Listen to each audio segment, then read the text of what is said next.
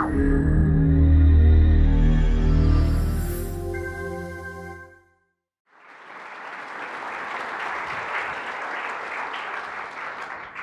thank you, Ian. so the first time I met Ian was at the Australian Research Council when I presented the Airport of the Future proposal, and Ian actually was working for the ARC. And on that day, the projector didn't work, and there was a lot of pressure. And so I had to grab my little laptop, put it on the table, slightly inconvenient, but still successful. Um, so I'm glad that we, from a technological viewpoint, made progress. So thank you so much for, for joining us this afternoon at prime time, Friday afternoon. Um, and, and, again, also welcome everyone who joins us um, remotely. And, and, that brings us to the topic of today, um, how we will exist, thrive, progress, accelerate in a dual world. so the notion of a dual world means we're living in a physical world, and this is what we are used to in the past, the physical world. Um, but then over time, a digital world emerged. Now the digital world on the one side, helps us to progress in the physical world, uh, but if you go to any bus stop, it is also a massive distraction to your physical world. And so I want to talk a lot about the idea of this kind of dual world paradigm. What are the implications? Um, and I'd like to propose today the notion of a digital mind to you. So the question is, how do we develop a mindfulness, a consciousness that is technologically agnostic and will hopefully survive for the next uh, years to come. And so to start this, um, I want to use a little example. Um, and this example um, comes from a local insurance company we interacted with. Um, and, and so they had this problem that I think one in four car accidents at the moment is caused by the use of a smartphone. Uh, that meant in the US in 2013, 4,500 fatal accidents. Now, if you're car insurer, one of your KPIs is to minimize the payout. Um, and so what they tried to work out, well, why all these particular kids use their mobile phone? And so with a very technological mindset, the default answer was, surely we can build an app that recognizes that you drive, potentially immediately disables itself, and a bit like when you do random uh, breath testing um, in your car, your car will not start when you're drunk. The idea is I could just disable using your phone while you drive and protect you. Now, when they went to their kids in those focus groups, every single driver said, what? What's the problem? That was a question, by the way. um, so any, any, idea what, what, what, what does a 16 or 18 year old say? I appreciate your app, so you protect me.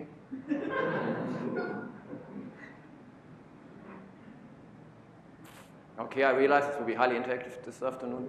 Um,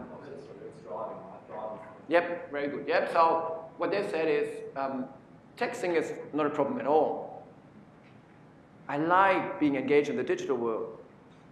But when I was 16, one massive distraction entered my life. And this distraction was called driving. So I'm, I'm happily engaged in this kind of digital world, and all of a sudden this physical world becomes a massive distraction. What do you mean you? You have to drive half an hour to work, an hour a day, five hours a week. Have you ever calculated the months in your life that you spent on driving? Isn't that a massive waste of time? So what they all said is, I want to have a car that takes care of driving for me. So I can engage in the digital world. If this means Angry Birds or mobile learning with Qt is a different story, but please get a distraction out of my life.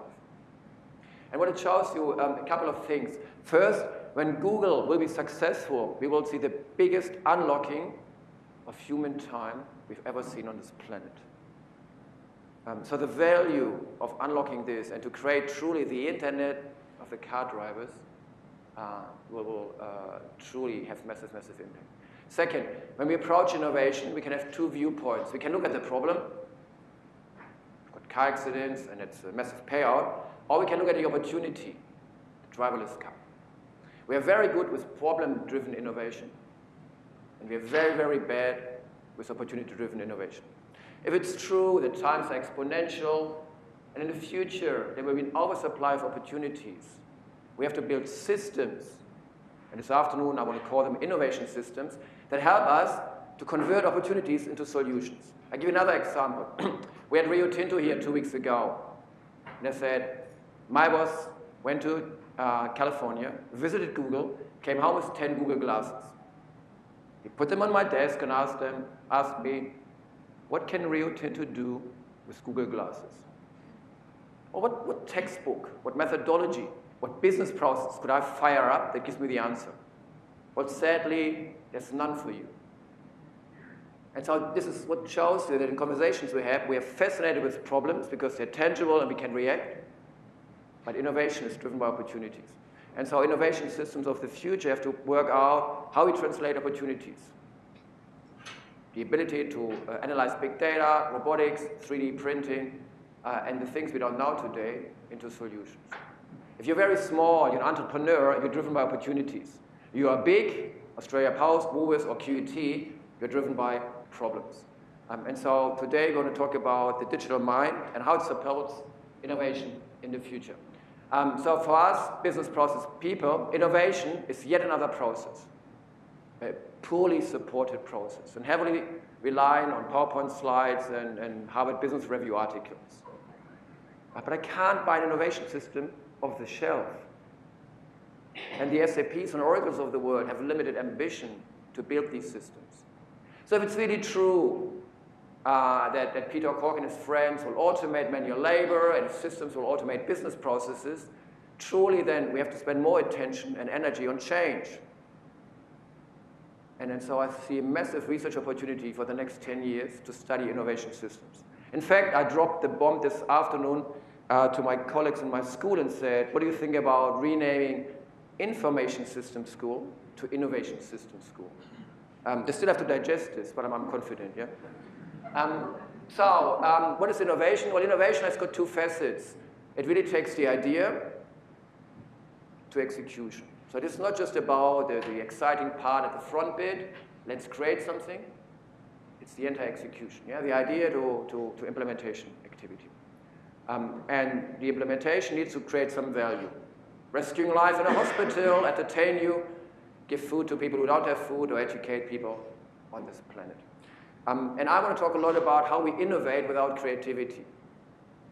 So what we teach our students is a lot to think in a certain way that allows you to see innovation, that allows you to see solutions. If the outside world believes you're highly creative, but you're very conscious in your thinking, well, don't tell them. Um, and, and, we have a true problem with innovation in Australia. So the uh, Innovation um, Efficiency Index, I think, ranks Australia on uh, number 81, which, believe it or not, is actually progression for last year. Um, and uh, it says that I think 46.6% of Australian organizations are innovation active. Yeah, you know we talk about research activity, we also talk about innovation activity. And many of these innovation activities are horizon one, meaning you use what you've got to solve an existing problem. I could mention, let's say, email in the cloud. Uh, horizon two means you create complete new, uh, you, you, take existing solutions and create some new uh, environments. And horizon three, what you see on the far transformational side is you use new technology to create new experiences. And this is what we call an innovation portfolio. What you see here is what we do with Woolworths. So Woolworths is funding a chair in retail innovation. And the idea of an innovation portfolio is that you have a healthy mix between predictable, low risk, uh, but potentially uh, also low return projects and projects that are out there. But if I'm large and if I'm not R&D intensive, I'm not Hewlett Packard, Google, or Volvo, uh, I typically don't have the internal capability to do innovation. And so what we offer is innovation as a service. And the University for the Real World has the opportunity to convert its research, which is opportunity-driven in many cases, to the problems that are out there. And what we try to establish with the chair in retail innovation, in airport innovation, and what we do with Rowena around the, the chair in the digital economy is to provide research-informed innovation as a service to our corporate partners. So um, we're quite active in that space, so uh, Susie will be delighted. We are very active when it comes to innovation in our curriculum. Innovation might be, in fact, one of those topics that is more cross-disciplinary than any other topic we have. Um, so what you see here goes across creative industries, where we work on, on design issues that are, that are needed in, in, in industries that rely on, on consumer experiences. It goes around the technological disruption that we now introduce to our IT students. And of course, it covers the entire entrepreneurship uh, and innovation that we see in the business school. Um, so on the educational side, there's just plenty of content out there. Um, and um, this afternoon, I want to take you on a journey through those three items um, to, to craft a narrative for what we at QUT, together with our partners, could achieve. So the three items are first, revenue resilience. That means in the future, organizations, including QUT, need to worry much more about the revenue stream than the cost base. Again, it's easier to look after cost than revenue, but that's what is required. Um, second, um, I want to talk about the seven habits of a digital mind. Um, and third, I want to talk about the notion of innovation systems. So, revenue resilience. As I highlighted, BPM included, academics and practitioners have developed a track record of capturing a problem, analyzing a problem, and fixing a problem. In most cases, we do this to reduce costs to become operationally effective. And it was a large focus of, let's say, BPM research, process management research for the last 10 to 15 years. And we've done this really well. Um, and in order to become uh, effective, there are two options. One is you reduce your uh, resource base, you eliminate activities that don't add value, you reduce the variation, you replace manual labor. Uh, Zvi Upton is doing a lot of work around frugal innovation and promotes this. Um, and of course, in the space of big data, you can see if I find further inspiration. UPS has done this really well with a system called Orion, and they save every year 95 million minutes by not turning left. Um, and so that means you simply uh, don't wait for ongoing traffic. That takes, uh, I think, the carbon emissions of 5,300 cars off the road every single year. That means you deliver 90 instead of 60 parcels every day in an organization that delivers 17 million parcels every single day. Um, and so, um, and we've replicated parts of this for WUBUS, by the way. Um, the second opportunity is what we see in cloud computing, but now far beyond technological resources, that you replace capital expenses with operational expenses. Um, so Mississippi Power used this to, uh, to cope with um, the hurricane, and DHL in Stockholm advertises who wants to take parcels home to their neighbors because the last mile delivery is incredibly expensive. So this shows you that the big paradigm in the digital world is access, not ownership. Access, not ownership. Um, I was uh, last Wednesday at Australia Post, and that scared the hell out of them. Um, what do you mean with all these posties? These guys just crowdsource some delivery guys. Uh, that's your future competition. Yeah? Um, so these opportunities where still can be very smart and become cost um, efficient. Um, a piece of work we have done here was with Suncorp, an article in the Fin Review. And so this is a team around Asa, Marcello, uh, Maus, Suriadi, where we took 35,000 claims, and there's now innovation without creativity. Positive thinking, commercial claims, commercial insurance, out of the last months, you pick those that are highly successful. Let's say measured as short processing time. Um, then you go, big change in mindset, and try to work out why do these individuals and their processes outperform the rest.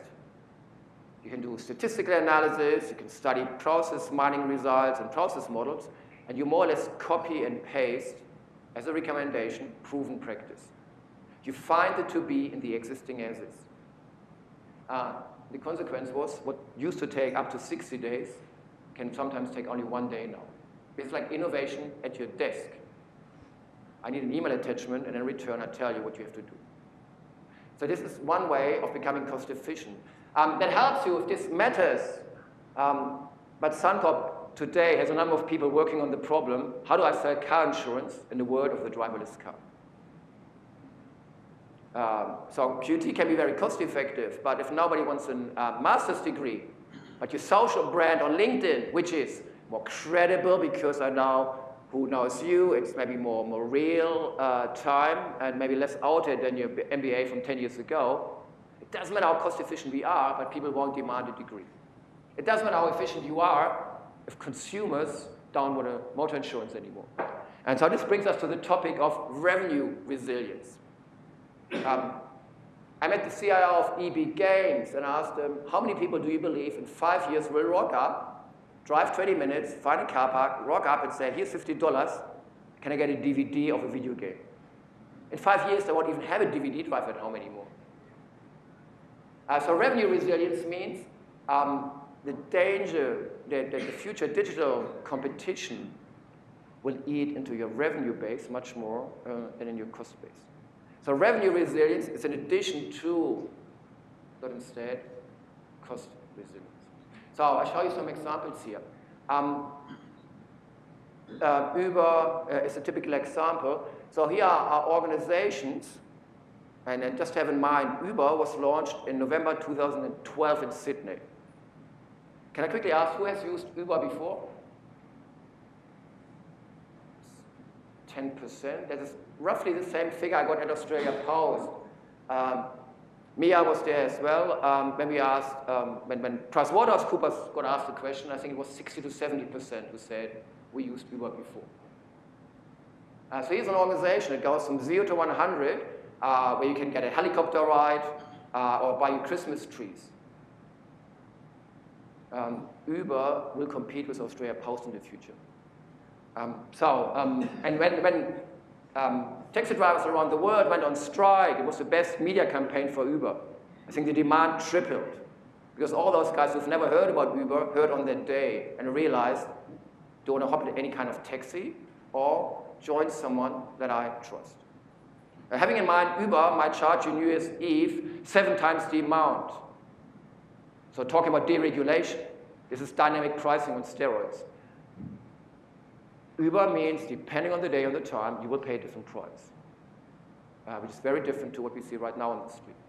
Um, some of you, uh, but most of you won't be too old for this, um, um, you remember the time when people actually used to pay for SMS? So you used to send a message and then there was a, was a fee per message. Um, it's very hard to comprehend for the younger generation, by the way. Um, uh, LinkedIn and Seek are typical examples. So LinkedIn, like TripAdvisor, what they do really well, they first create a community and then a service for this community. Facebook is doing this as well. So the classical mindset is you build a product or a service and then you find customers. What these organizations do, they do it in the opposite way. And this is why I appreciate the new Institute for Connected Communities, where the new value will be social capital and not the service that you've got. Um, and so uh, Alistair Barros and others are replicating this for Suncorp and Bank of Queensland. Um, very long time ago, people would spend hundreds of thousands of dollars on GPS devices in cars. Um, as I said, Airbnb, light on assets, and today has got more beds than Hilton, four years old, by the way. Um, Facebook, um, so I never understood why anybody would pay $15,000 to a gentleman or a lady who hands over photocopies on a Saturday morning. Um, so, so once you break this sort of deregulation or regulation, um, you will see a massive shake up there as well. Um, Facebook will become a retail bank very soon. Um, so, so the digital mind of a digital native can't understand. When you transferred money, you had to go to a web page. They gave you a separate password. You had to remember BSB, and what was the other thing? An account number, just to do business with them. It didn't come to you, and you couldn't click on a face. And you had to worry about where the money goes. This is very hard to comprehend for digital natives. So that's a sort of mindset you have to, have to develop in a digital world that does not accept redundancy. The current way of automating companies comes from a life when people had no digital identity when you were digitally nothing. And so all the money, resources, and capabilities were with organizations. And, and one outcome was that they happily replicated you. And for the first time in mankind, we give power to the people, digital power to the people. That will mean in the future, the organization will come to you and you won't come to them. And I talk about this under the umbrella of proactive teaching in a second.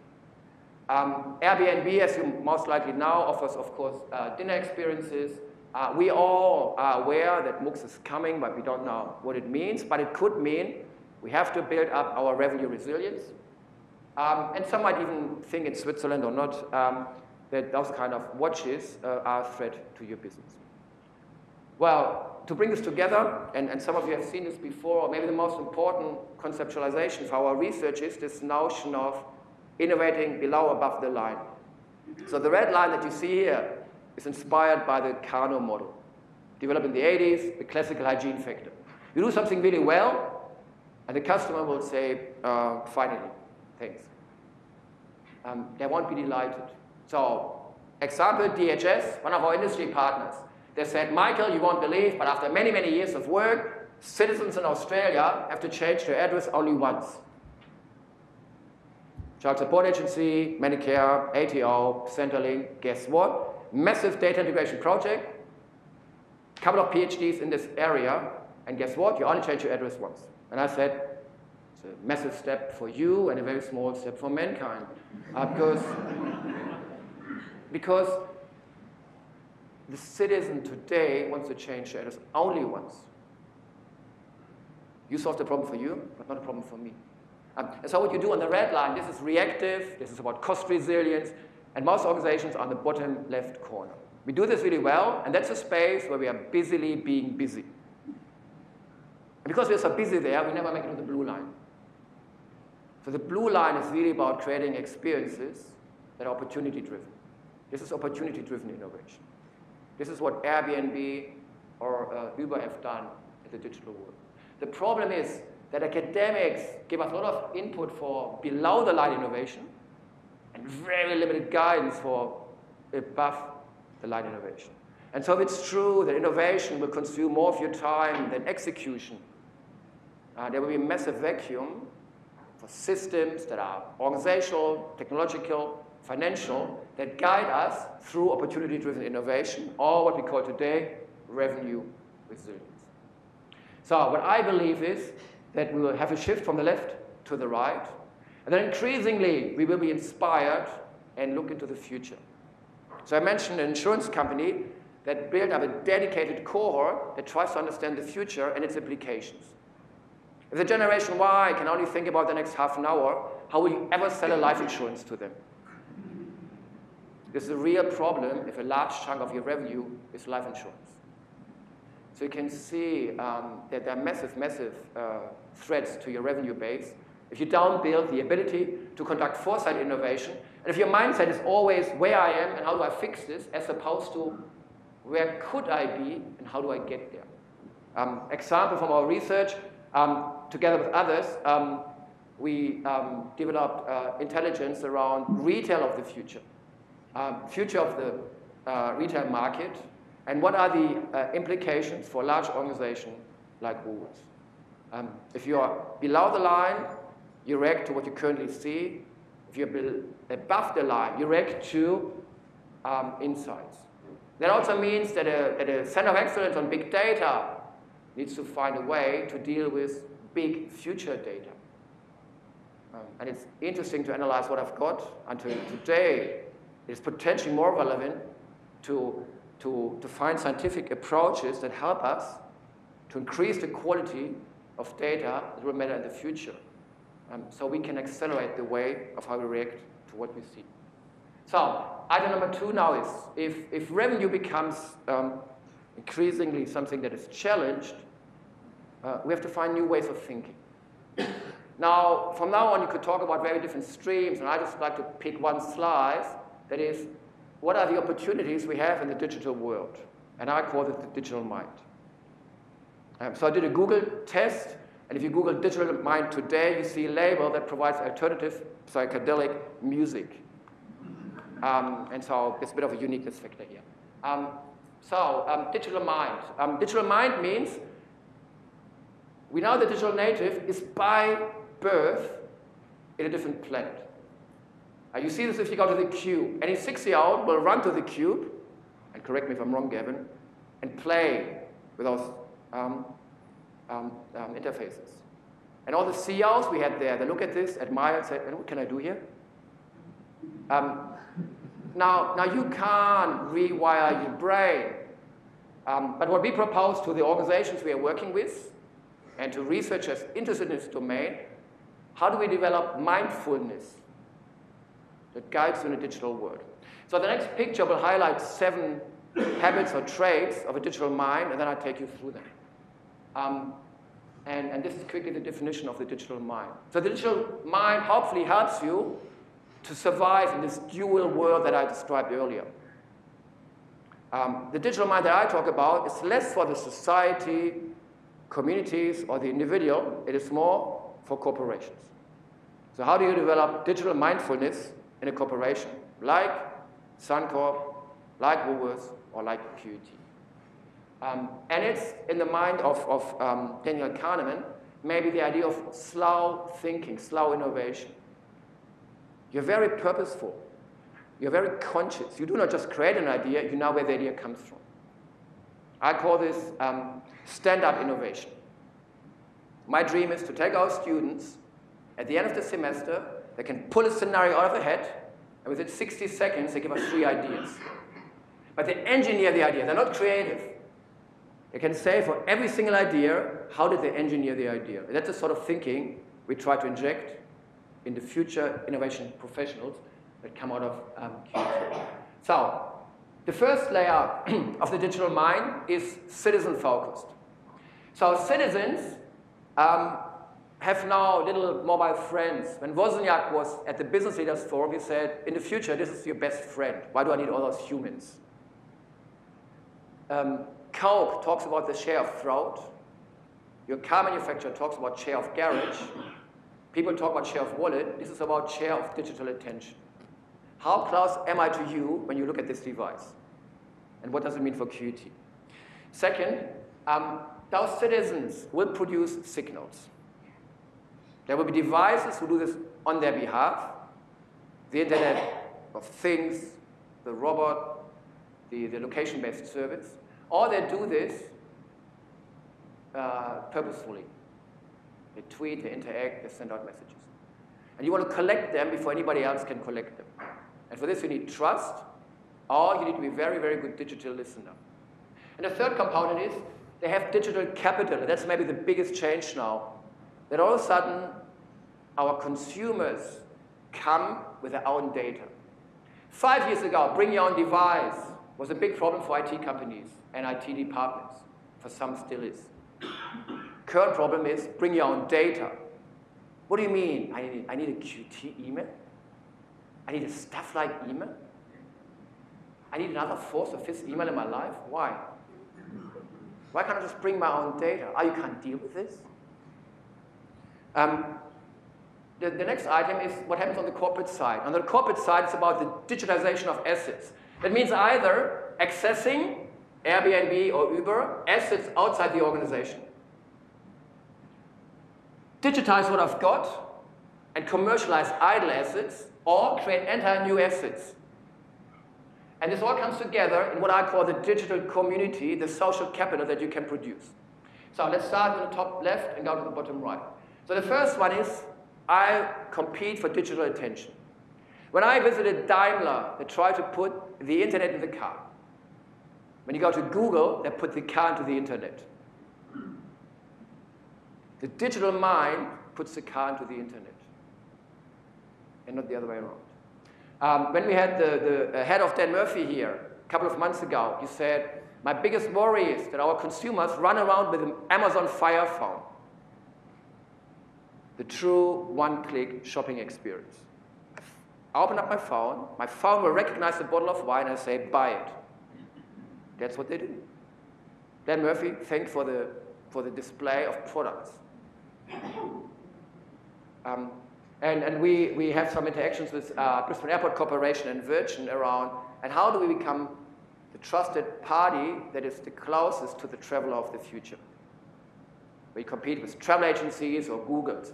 So there will be the internet of, of subsets, the internet of travelers, and the question is who will be the closest to collect your digital attention? Um, so the second one is um, the digital signal. So this is about um, finding, not searching. Uh, the biggest competition for the Google search engine is the find engine. Uh, no offense, but most people don't Google the master of biofabrication. A lot of people like to understand, sorry Mia, uh, a lot of people like to understand what 3D printing can do to the healthcare sector. How do I find you? Proactive teaching, instead of demand-based teaching. Um, so that means in the car industry, when you have an accident, um, there are hundreds of, of sensors.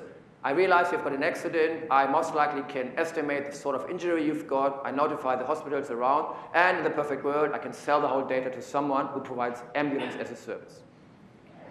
Um,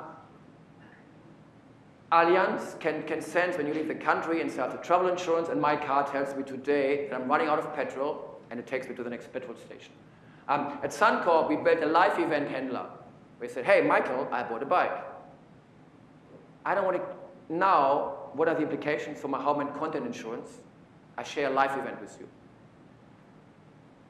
And I pick it up. So I believe that QUT in the future has to listen to life events. And like your bank looks after your financial well-being, and your GP looks after your medical well-being, we could be the provider of choice for educational well-being. And our students, after three years, trust us more than anybody else. But we lose the share of attention uh, when they get the third PDF uh, newsletter as an alumni. um, so I'll show you one more example in that space. Has anyone seen this device? Uh, so it's a very simple device, yes? It's got two buttons, a microphone, um, and a, a, barcode scanner. It comes from Amazon. So, so in California, they started to deliver uh, uh, food. Yeah. So what they do is they, they get very close to you. They allow you to collect digital uh, social signals during the day. And at the end of the day, you just go to your little shopping catalog. Michael, you told me you want chocolate chips. I've got three alternatives. Which one? And then they deliver. Um, again, think you're Woolworths, think you're Coles. What does it mean? But also think you're a researcher. What does it mean? And how does the BPM community of the future collect live events? Uh, and what does it mean? What sort of process do I execute? Uh, so the third one is private capital. Bring your own data. So that the consumer of today wants to bring their own data when they engage with you. I come to QUT, I sit in a lecture, I want to press the like it button and share it with my friends. Doesn't work today, but could work in the future. Um, at KLM, I want to sit next to someone um, that I, that I like. Um, and the fact, I, I, took this picture on Wednesday, um, that I get a 5% discount and a coffee in Melbourne, it's not for me to express that I like you. I want to express this to my network.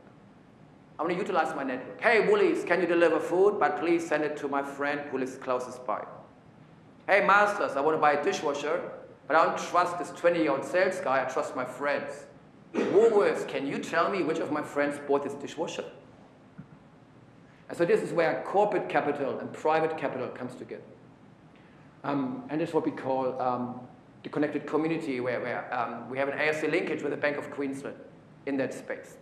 Uh, Kickstart right now, if you want to join us, by all means, let us know. This is very much about banking in a world where consumers arrive with private digital capital. Um, the next one, uh, maybe the most powerful one, is the uh, social capital. I use a very kind of tangible example, the Thermomix.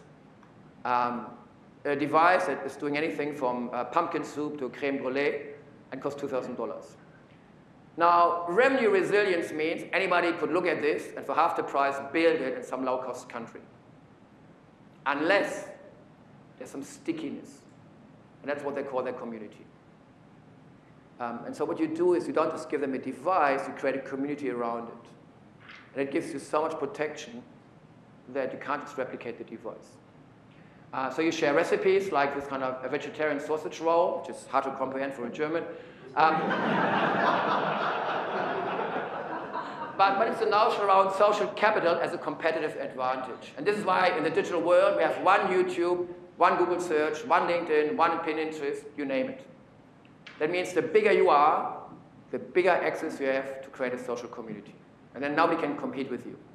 What we see right now, anyone on this planet can create a MOOC and compete with us. In a world that thinks like this, this is not possible. Um, next example. Um, this is about access or not ownership. So the light asset model of Airbnb versus the heavy asset model of the Hilton.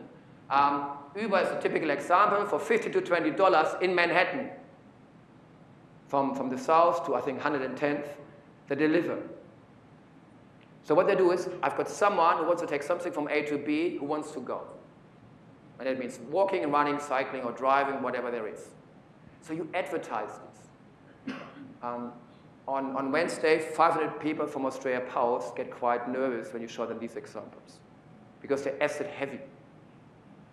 Um, the next one, um, and maybe the idea for Australia Post, um, you still have got physical assets, and how can I use them?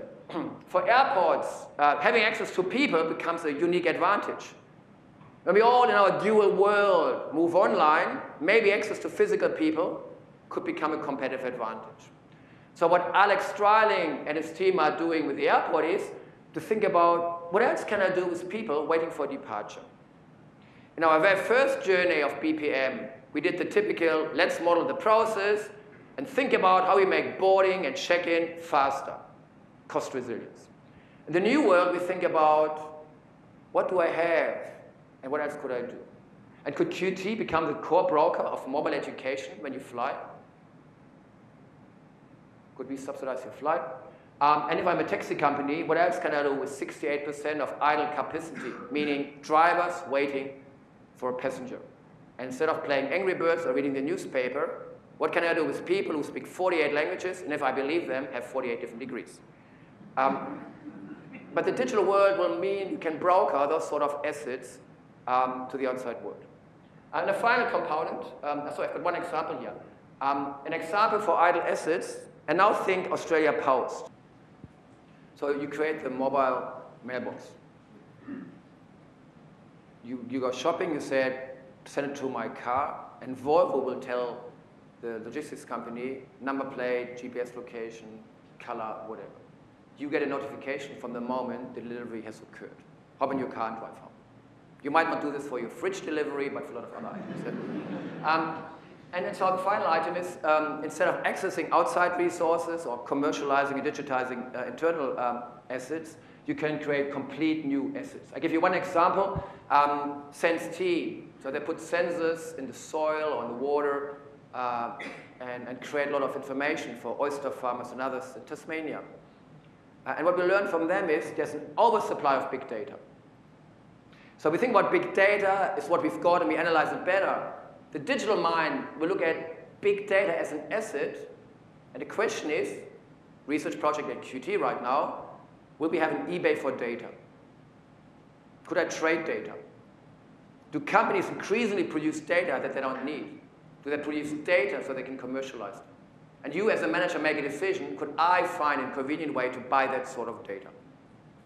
The sensors in your car um, that I mentioned earlier are one example. And the economic in, in, um, incentive for the car provider might be as well, besides rescuing your life, of course, um, to think about um, consumers for that sort of data. Uh, so that wraps it up, and in order to, to contextualize it, I, I, I, put my creative cap on, and, and these are seven ideas what QT would do. Could you imagine a world like Amazon Dash, where the day one you arrive at QT, we give you the QT device? See, in five years, your little friend won't cost $1,000 anymore. Um, could I imagine that this becomes my little trusted uh, buddy here, and it's my little QT device, and by pressing a certain button, it will do certain things, and knowledge will be location sensitive. Um, uh, I talked about the like it button, knowledge might be allocated to location, and proactive teaching will mean I know more about what you need to know than yourself. Uh, but you might share um, certain um, elements of your life with me. Um, and maybe what we know about the task rabbit could become a knowledge rabbit. So today you can buy someone who mows your lawn. It could become a broker between people who just need some wisdom, some knowledge. I just need for two hours a data scientist. You've got 46,000 students. Can anyone help me? Um, so that's the digital mind. And to wrap this all up, um, organizations need to have some systems that help them to capitalize on all of this. So you understand awareness, revenue resilience matters. You change your mindfulness and develop a corporate digital mind. And the third one is you need systems um, that help you to change, to innovate. So over the last 30 to 40 years, we have become optimizers of the enterprise system. But we don't have innovation systems. Um, and, and, that's a space that I believe gives a massive, massive opportunity for, for researchers in, in, in business, in IT land, to think about how such, um, such systems could look like. Our gut feeling today is um, that maybe you have a 1 to 1,000 ratio in terms of people working there. If only one in 1,000 would think about tomorrow full time, not in a two hour brainstorming workshop on a Friday afternoon, uh, we would progress. And so the people I need um, above the line have those sort of traits. And we understand we can't copy and paste every individual who's busily being busy into the space of innovation systems. Uh, but what we do with many organizations we are working with is trying to understand what are evidence-based um, design templates for innovation processes and innovation governance and tools and systems that could support innovation. Um, so um, I'd like to highlight a few streams of research that are happening um, in the business school, for example, that matter here. And so you will be aware of many of them, but what I believe also innovation will do to QUT um, under the umbrella of helping organizations to change in a more productive, effective, and faster way, um, that, we, that we need to consolidate those pieces of expertise. Uh, whether it's the, the energy um, uh, dedicated background that, that, that Rob um, and his team bring to the table, um, whether it's uh, to understand in a, in a 24-hour on digital world, how do I ever decouple physical and digital experiences, or what sort of new work models will emerge. Um, so our frame of thinking looks like this, um, and many of you have seen this. Yeah, down what I don't, down now in the bottom left, at the top left corner. This is the biggest challenge for organizations right now. Um, and it's the biggest problem. Um, so if all we have is demand-based learning, welcome to QUT, what would you like to study? This is, I'm here. Yeah, I know exactly what I know now and I like it, so I need more of it. Please train or educate me. And I move from here to here. My problem is, if I'm in the top left corner, someone has to pick me up there. So what we do with Department of Human Services, we now deliver, I think every four or six weeks, a seminar where we more or less pick the content. We talk about things that you don't know, and you don't know that you don't know. This is inspiration as a service. It was not a joke. um, and it's our organizations increasingly build up the awareness, it's like a meta-awareness now, that they don't know what they don't know. So they need to put their heart and soul into some trusted partner, like a subscription model, who keeps them up to date, who looks after their educational well-being when they're not able to articulate what they need to know massive, massive value proposition for QUT and our research. Um, I'll show you one example of what we do in the um, top right corner, which is the other dangerous playground. That means you do things really well, you just don't know why you do them well.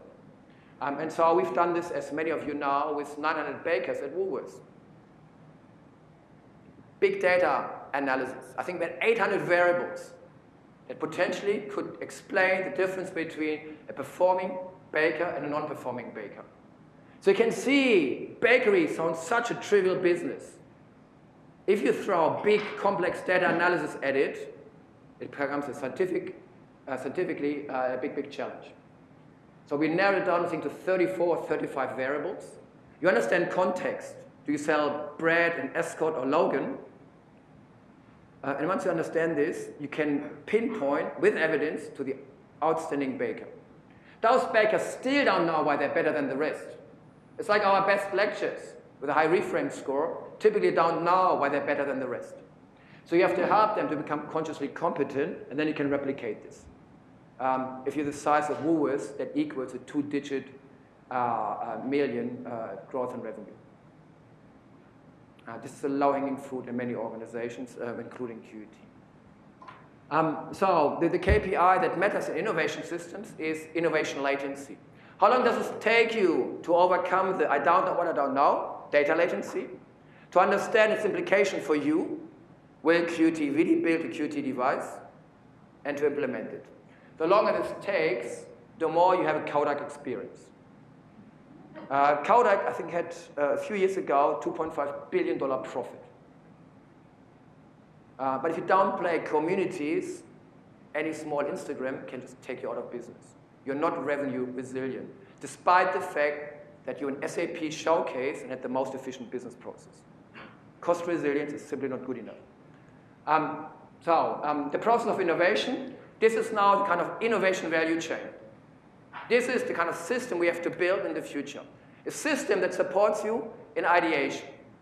So we have done a lot of research and developed patterns that semi-automatically could propose better ideas, that do environmental scanning as a service, uh, Cara's work around design, or, as I talked about, utilization of idle assets. Um, incubation, implementation, and operation. Now, this is not a waterfall model and a lot of iterations in between, um, but you could take this as a high-level value chain like Michael Porter in the 80s. He created one value chain that, of course, every company looks very different, but you have a starting point. Uh, and for us to create value chain 2.0, the innovation value chain, I think is a massive, massive research opportunity to conceptualize and design innovation systems. So two examples, uh, Cara's work around design-led innovation. So you can see it's a 10-step process, but what people like me hate are iterations. This is not just one, two, three, and then go left or right. There's a lot of unpredictability in iteration. But I believe after 20 years of BPM research, we're now ready to target much more complex processes. And if you zoom into any of those bubbles, like what are the assumptions I have when it comes to consumer, and the way Cara's team visualizes this is in kind of um, narratives like this, what sort of system can I use? What sort of kind of tools could guide me through this process? So if I want to scale up design-led innovation from a PowerPoint science for small cohorts to large-scale design-led innovation for someone like Woolworths, um, I can't rely on manual experience anymore. And the question is now for researchers, to what extent can I semi-automate at least parts of this process? Um, the second example is open innovation. Every quarter in this building, but the bad news is it's on the weekend, uh, we do open innovation. So last time it looked like this. Um, we had 75 people from the government wearing red shirts saying problem uno. You uh, articulated the problem on openinnovation.com.au in advance, productivity in the beef industry, um, um, health systems for Aboriginal communities, or how to fix graffiti problem on the road. then people wearing white shirts could step up and said, here's my solution, or my idea at least. Uh, and then we brokered this conversation, and the winning teams will get 12 weeks of incubation. I hope the next winning team will be based in P or Y block. So we take you from a fast um, uh, ideation process to a solid, let's gather more evidence around you, and provide the sort of expertise you need for your incubation so we can mitigate the risk of innovation. So for the problem of how do I fix graffiti, you could either have like a Peter Corke mindset and think about a drone and spray paint so you don't have to block the road. Uh, or you could be headquartered in creative industries and suggest play Barry Manilow and they don't come in the first place. um, but the idea is, all you have is a problem, you've got no idea where the solution goes. What we do with PricewaterhouseCoopers uh, who is funding the chair in digital economy uh, in the School of Management in our school is to build innovation accelerators, tools and systems that take you through these kind of processes in a much more predictable manner. So this is the big story we have in mind, uh, and, and, Brisbane Marketing and um, Queensland Government are involved as well. Uh, but what we hope that under the umbrella of the chair and digital economy, we on the one side provide evidence and data around the digital economy. What's the digital literacy in the tourism industry, for example? We consolidate and build new curriculum, but in a very proactive manner for the guys who don't know what they don't know. And we pick massive innovation streams and try to accelerate. Um, how does this work in co-innovation? We are maybe more theory and opportunity driven. Our partners are more problem driven. We could do these two steps together and while they appreciate building and using, we appreciate understanding. They are driven by utility, we are driven by theorizing.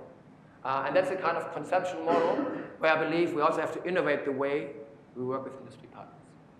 Um, so I do apologize, uh, very un-German, I went over time. Um, but I'd like to, like to acknowledge that a lot of people contributed to this and, and that the, the School appreciates the opportunity to share some of our projects. Thank you so much.